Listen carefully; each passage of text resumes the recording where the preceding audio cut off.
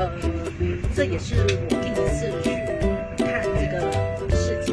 然后被传承给大家，呃，传承给大家录下来，等下给大家看一下。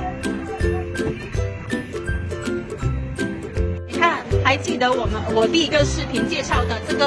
呃蓝精灵的蓝精灵的家乡，你看就在中央火车站那里。呢，就是呃一直往下面走，就是圣诞节的那个市集。你看这些呢，就是呃他们摆出来的一个文化，就是那个小集市，有首饰，有蜡烛，呃，还有一些呃这样的水果吧，水果巧克力、水果蜡烛吧。呃，这里呢还有香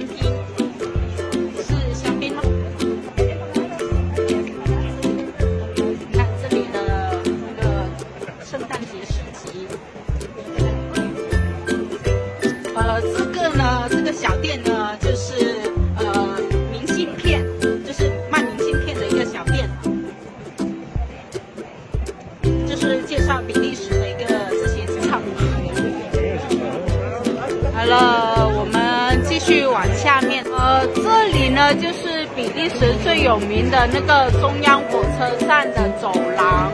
然后你看都布满了圣诞节的那个气氛，那个圣诞节的彩灯。这个呢就是比利时最有名的这个巧克力店 Godiva，一九二六年的。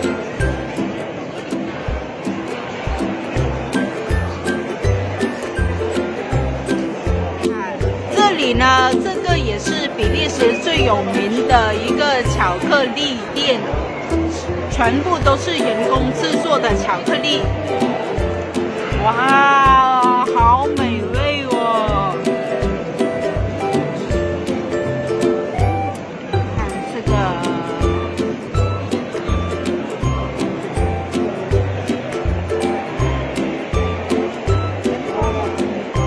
巧克力牌子的话也是非常的古老了，还有马卡龙。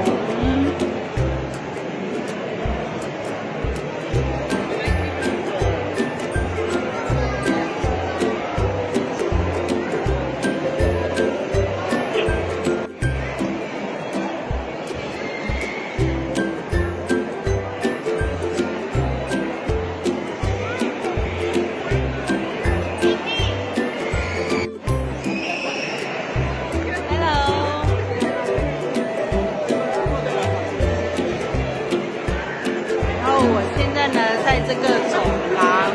呃，中央火车站的走廊，非常非常的漂亮。如果大家有机会到比利时来旅游的话，这个也是其中的一个景点，呃，不要错过这个比利时中央火车站的走廊。这呢，也是比利时最有名的一个巧克力牌子，呃，成建呃成立于一八五七年的，全部都是手工制作的，到现在也是保持手工制作的一个巧克力牌子。的这个塔全部都是用巧克力制作而成的。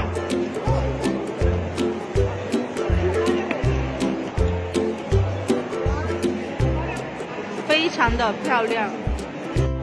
Hello，大家好，这个呢，The Rose 就是比利时最有名的一个呃皮包皮包的牌子，就是比利时王国国王还有欧洲皇室都专用的一个呃 The Rose 牌子。这些呢都是新款，The Rose 的新款。大家有机会的话可以到这个呃店来看一下都非常多的非常多漂亮的包但是价格不便宜所以呢大家如果想买的话最好准备好钱。呃这个你看这个钱包三百五十欧还有九百九十